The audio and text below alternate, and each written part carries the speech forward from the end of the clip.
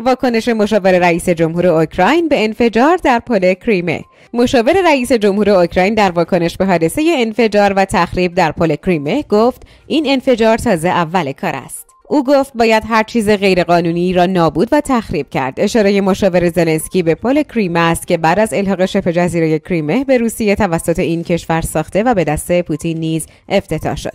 تردد روی پل کریمه به طور کامل متوقف شده است. نیکولای لوکاشنکو سرپرست وزارت حمل و نقل جمهوری کریمه اعلام کرد که تردد بر روی پل کریمه به طور کامل بسته شده. ولی راه اندازی گذرگاه کشتی ها در این مسیر در حال آماده سازی است. وی همچنین توصیه کرد شهروندان کریمه فعلا از نزدیک شدن به سمت پل کریمه خودداری کند.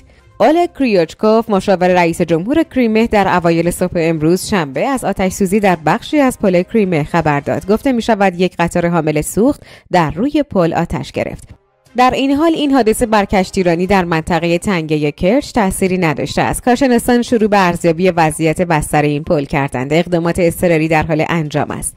دلایل وقوع این حادثه هنوز در دسته بررسی است. دستور پوتین در مورد پل کریمه. رسانه های روسیه گزارش دادند که رئیس جمهور این کشور به معاون نخست وزیر و وزیر شرایط فوقالعاده دستور داد ضمن تشکیل کمیته اضطراری سریعا به منطقه حادثه اعزام شوند. روسیه حمله به پل کریمه را تروریستی خواند.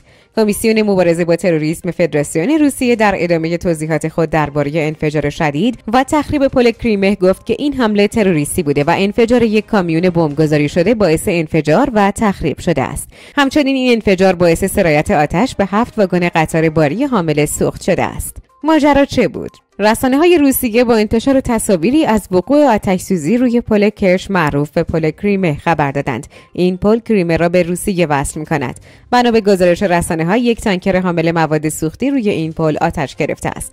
برخی منابع هم اعلام کردند که قطار حامل مواد سوختی به روی پل کریمه دچار حریق شده است. همچنین فیلم منتشر شده از پل کریمه نشان می‌دهد که احتمالا یک موشک به این پل و قطار حامل مواد سوختی حین عبور از این پل اصابت کرده است. نخست وزیر استانی انفجار پل کریمه را به اوکراین تبریک گفت. اورماس رینسالو نخست وزیر استونی با اشاره به اینکه احتمالا نیروهای اوکراین پشت عملیات انفجار پل کرچ در کریمه بودند این اتفاق را به کیف تبریک گفت. رینسالو گفت استونی قطعا از این انفجار استقبال کرده و به نیروهای اوکراین که احتمالا پشت این عملیات بودند تبریک می‌گوید. نخست وزیر استونی همچنین یادآور شد که مقامات کیف از دیرباز پل کریمه را هدفی محتمل برای حملات خود معرفی کرده بودند. بولتون. پوتین بلوف می‌زند. مشاور امنیت ملی دولت پیشین آمریکا واکنش رئیس جمهور کنونی به تهدید هسته‌ای روسیه را اغراق آمیز خواند و گفت که ولادیمیر پوتین نیز بلوف زده است.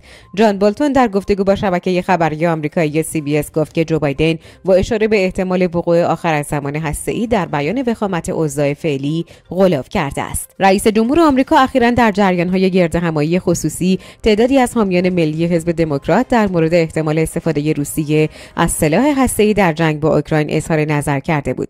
وی گفته بود ما از زمان جانف کندی و بحران موشکی کوبا با احتمال وقوع آخر از زمان روبرو نشده بودیم.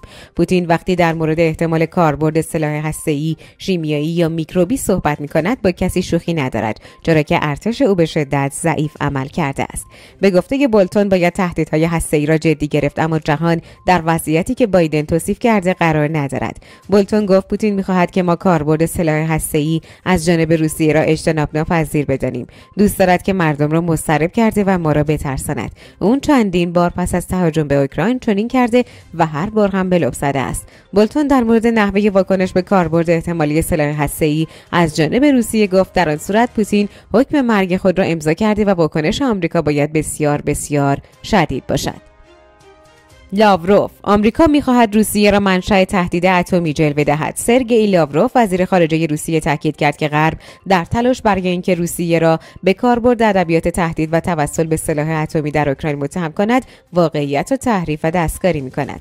لاوروف در ادامه اظهارات خود گفت غرب در این تلاش به انواع فریبکاری و دروغهای وقیحانه متوسل می شود هرچند ما به آن عادت داریم. به گفته وزیر خارجه روسیه آمریکا و متحدانش با جدیت سعی دارند تا در رابطه با اوکراین لفاظی ای را به گفتمان غالب جهان معرفی کنند.